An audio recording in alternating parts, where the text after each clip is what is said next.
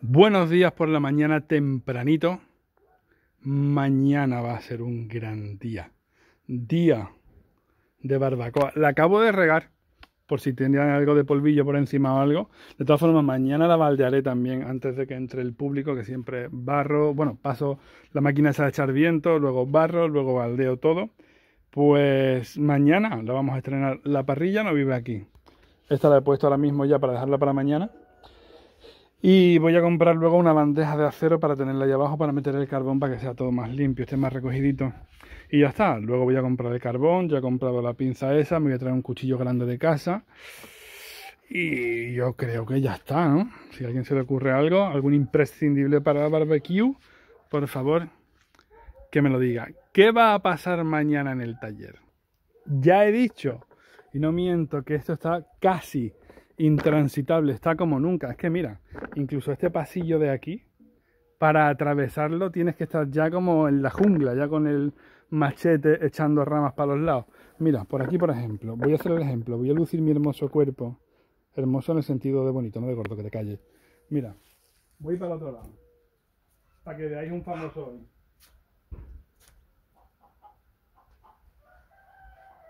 Mira, me pongo aquí ¿Qué dices tú? Que sí, que se puede pasar. Sí, pero tienes que ir ya un poco. O sea, está esto que se come ya el pasillo. Mañana es un gran día. Venga, voy a hacerlo en otro pasillo, que se me hace el vídeo corto. Este pasillo de aquí.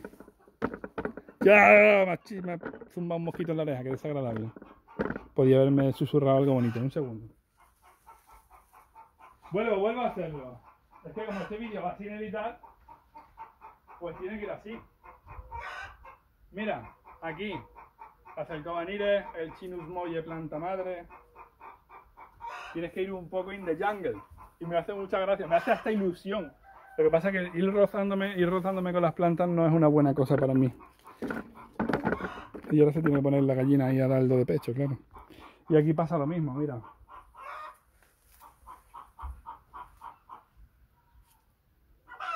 ¿Ves? Está muy heavy, está brutal. Creo que como nunca ha estado. Señoras, señores, mañana es el gran día. Mañana es probablemente mi día favorito. Quiero estrangular una gallina.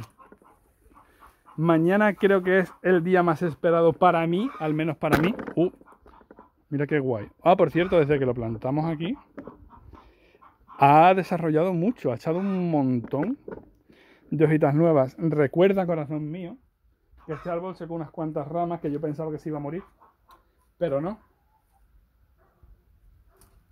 Está ahora brotando. Mira, ¡uh! Esto no lo había visto yo. Qué guay, mira. Esto es raro de ver en Ficus retusa. Este es retusa, ¿vale? No es Tiger nada que se le parezca. Mira. Higuitos. Higuitos. Higuitos. Y dicen por ahí que la fructificación es un signo de salud. Mira, mira, tiene higos por todas partes. Qué raro, ¿no? Qué guay. Bueno, pues eso, secó. Ah, he pisado una china, una piedra una rama por aquí, otra por aquí y otra de la espalda. Así que nada, se le van a dejar ramas largas y se van a volver a injertar. Mi intención inicial es injertar este árbol de otra especie completamente. De una hoja bastante más, me la leche, bastante más llamativa, bastante más espectacular y hacer de este árbol un joyón enorme. Mira qué falda tiene. Mira. Qué maravilla. Mañana le vamos a quitar las hierbas. Bueno, mañana, ¿por qué es el gran día? ¿Ves? Estos ficuses que hay aquí. Hay una gran parte de cronos y otra gran parte de árboles míos que planté. Eso lo he explicado alguna vez. Cuando empecé el proyecto de los cronos, como hombre precavido vale por dos y come por dos en mi caso, lo que hice fue, mm, si, oye, si vendo, por ejemplo, ¿no? un número redondo, 100 cronos, no planto 100 cronos, planto 200 o 300. Y si alguno se muere, pues se sustituye y ya está. Y si no se muere ninguno, oye, pues tengo stock para vender todo guapo en verdad, que mola un montón. Entonces, mm, esta, mañana, mañana sábado, lo que voy a hacer es meterle ya la macropoda a todos los cronos y no cronos que hay aquí. ¿Qué quiere decir macropoda? Mira, asómate, socotilla, haces muchas preguntas, también te lo digo. Mira, ese soy yo. Es que está amaneciendo, entonces está el sol muy bajito todavía. Mira, ¿Ves el tronco? ¿Ves el tronco? Bueno, que tengo el flash puesto. No. Pues era un rayo de luz que decía Marisol. Pues mañana se va a cortar. Quita chiquillo las ramas. Pues mañana se van a cortar todas las ramas y se va a dejar solo el tronco gordo de abajo. ¿Vale? Eso es lo que se va a hacer mañana. Se va a cortar todo y se van a dejar solo los tronquitos, bueno, tronquitos, los troncacos. Son todos shohin y mini bonsai, pero con unos calibres brutales. A la gente el que más le llama la atención siempre es este de aquí que empezó siendo como una rosquita así, una vueltita, y mira, es que está gigante. Piensa que esto se plantó siendo un esqueje así, no te exagero, así. Y mira, cómo está. No sé si han pasado tres años o cuatro. Cinco no. Creo que cuatro ya. ¿Ves? Pues esto lo que tiene aquí son unas... Ah, espérate que se ha puesto el foco. Este lo que tienen son unas patitas horripilis aquí y seguramente lo que tengan estos ficus sean una pivotante hasta el fin del mundo o el centro del mundo, ¿no? En el magma frena porque se quema.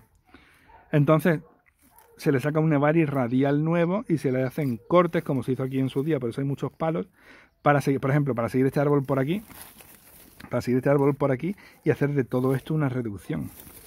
¿Ves? Esperamos, no es el único, hay muchos. Muchos.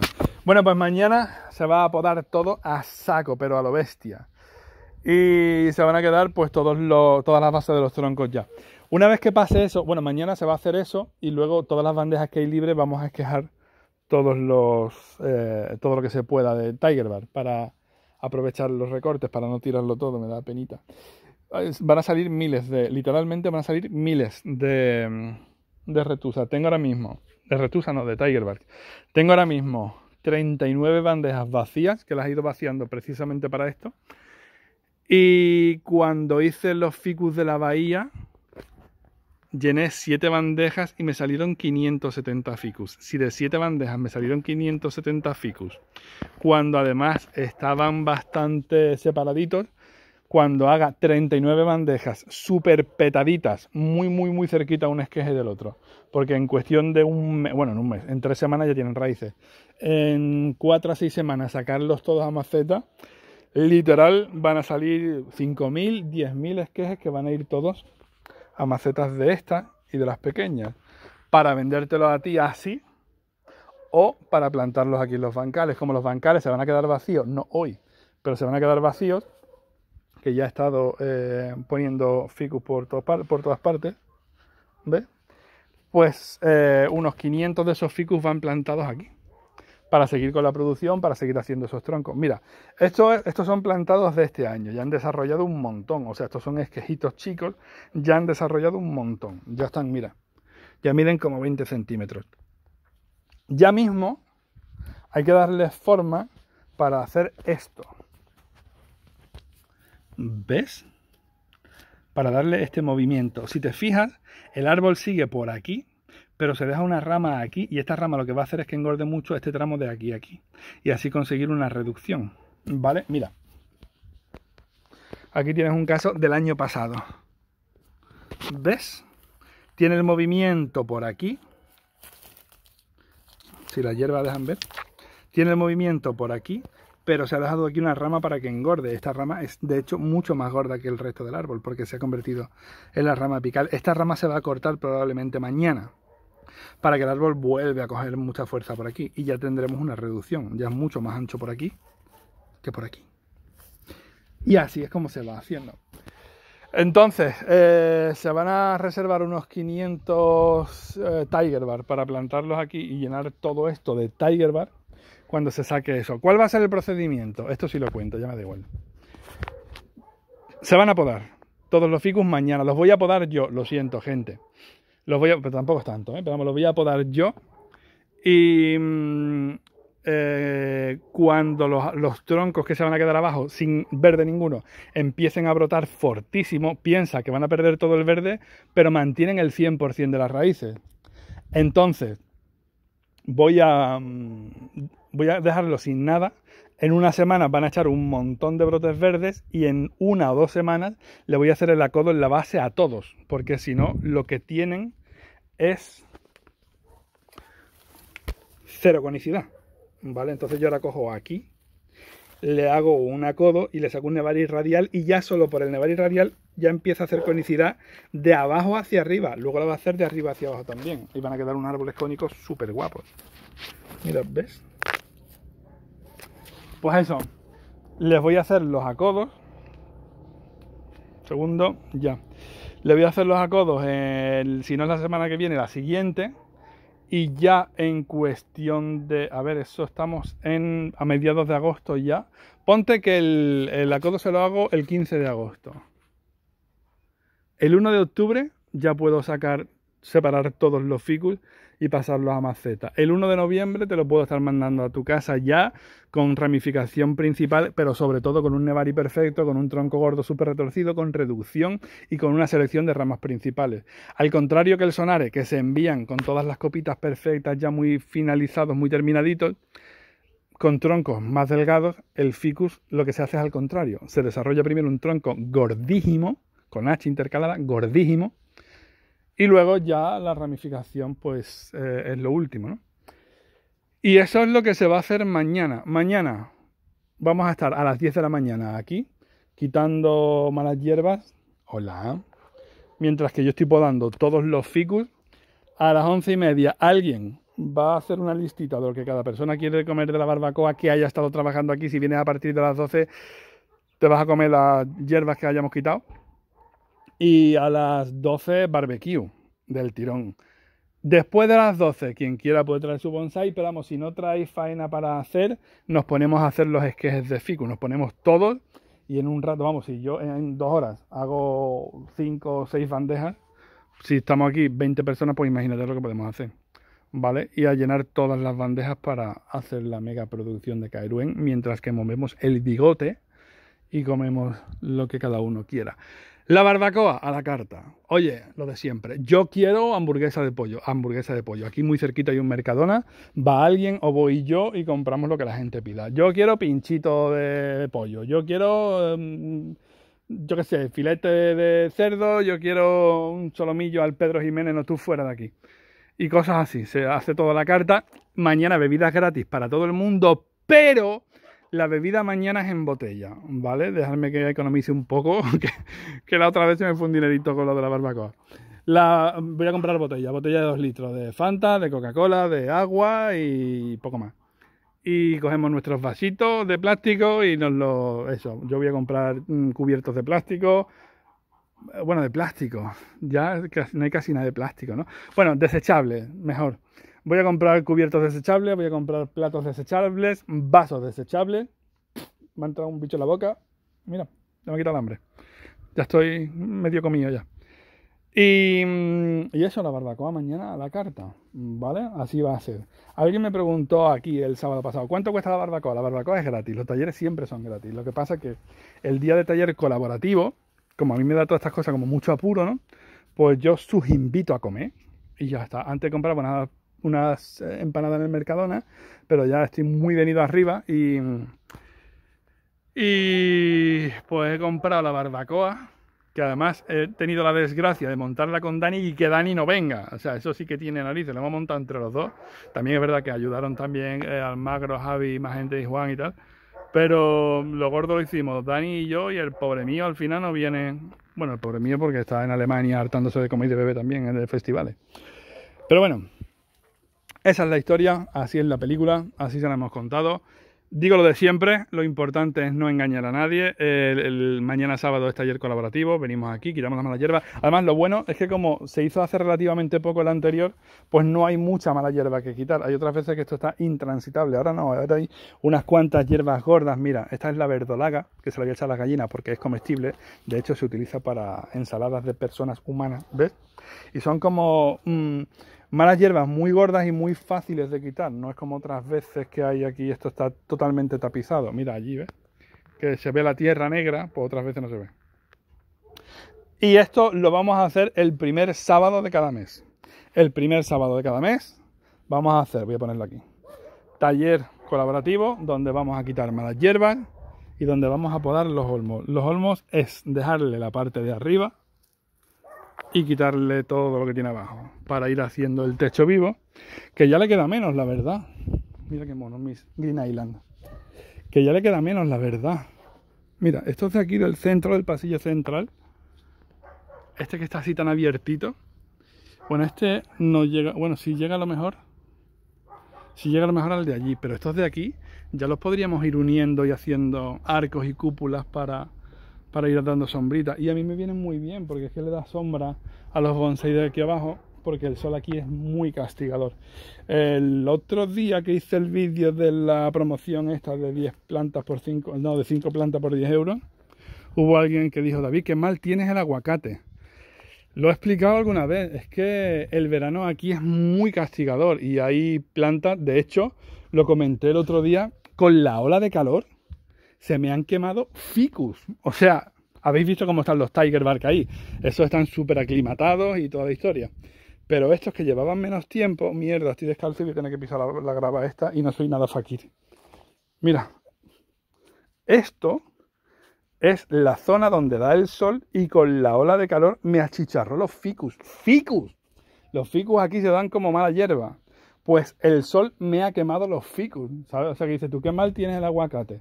Hay muchas plantas que sufren Em, las olas de calor y los golpes de calor, sobre todo aquí, sobre todo cuando hay vientos secos de levante, que es como si tuvieran un secador de pelo encima. Y claro, es inevitable. Y el aguacate además es bastante tropical.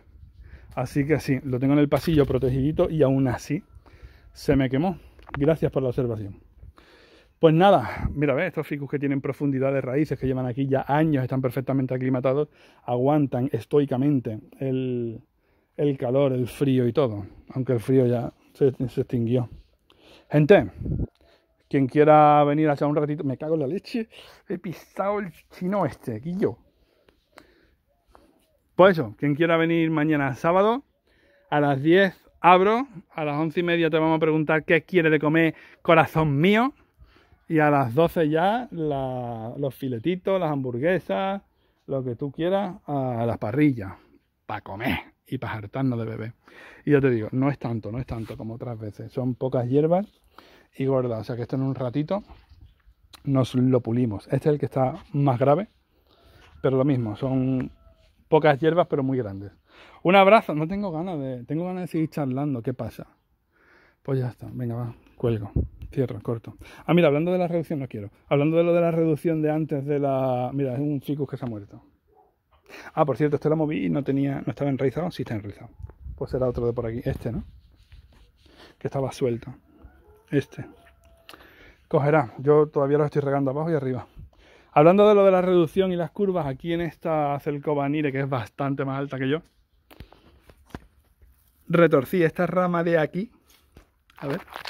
Retorcí esta rama de aquí para acodarla y fíjate lo gorda que está esta parte que sigue para allá. Entonces luego corto por aquí. Y cuando corte por aquí, fíjate la reducción que queda de aquí ahí. Va a quedar hasta un poco estrambótica, la verdad. O trambólica, mejor. Pero mm, va a estar muy guay, va a estar muy guay. Eh, siendo una cercomanire, en el momento que ves rama de sacrificio, la cicatriz cierra rápido, como casi todos los caducifolios. Así que muy bien. Y este olmo que está ahí, que está gigante ya, que es más grande que la nave, ese era un, esquejito mío de aquí, de un olmo chino. Bueno, y este ya afortunadamente puede vivir sin tutor. Ya el tutor lo tiene de adorno, porque mira el grosor del tronco y el grosor del tutor. Ya este no se cae para los lados como antes, ya se mantiene solo y no le hace falta estar entutorado. Esa rama que crece hacia arriba va afuera y se dejan solo las que crecen a los lados para hacer el techo.